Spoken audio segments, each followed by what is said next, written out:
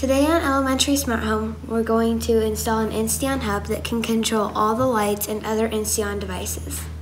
Inside the box, you'll find the Insteon hub, instructions on how to download the app, a power cable, and a network cable.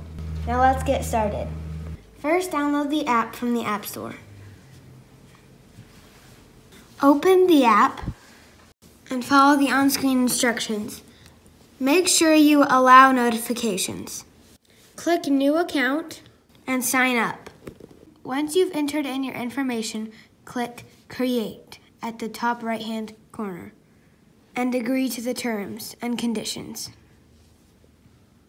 Make sure you click OK so that the Insteon can access your camera.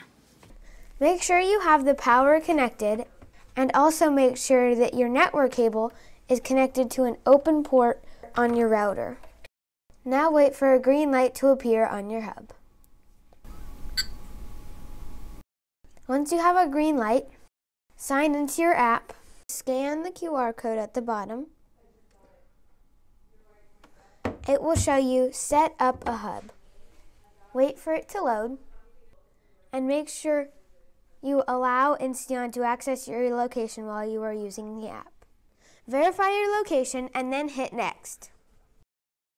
Now give your device a name. Now we are ready to add devices.